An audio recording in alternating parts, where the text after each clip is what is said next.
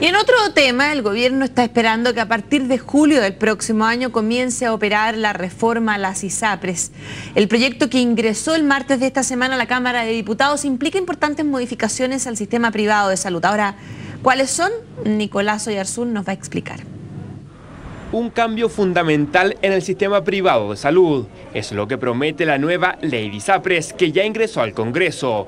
El mayor cambio es el Plan Garantizado de Salud, el PGS. Se acaba con esto el tema de la eh, captura de las preexistencias, se acaba la discriminación por sexo edad que ha sido tan enojosa.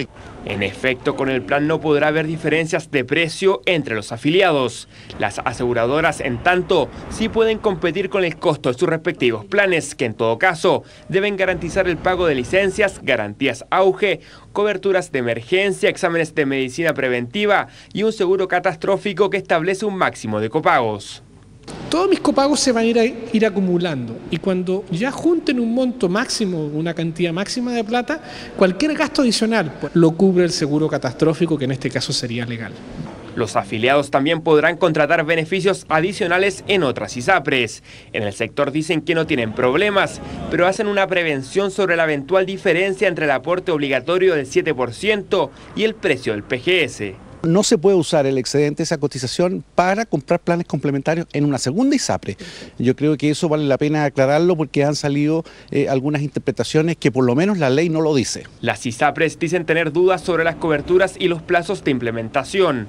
De otros sectores critican que el proyecto segmenta aún más el sistema de salud. Todas las personas que requieran afiliación a una ISAPRE u otra tienen que ser aceptadas por la ISAPRE, pero no así para la gente que proviene del FONASA hacia el FONASA van a seguir existiendo las preexistencias y la, declaración de salud. El proyecto además establece la creación del IPC de salud, en el que el INE y un panel de expertos entregará precios referenciales de las prestaciones. El gobierno espera que en marzo la iniciativa sea aprobada y que en julio comience a operar el nuevo sistema. Nicolás Oyarzún, CNN Chile. 8 y 11, vamos a trasladar.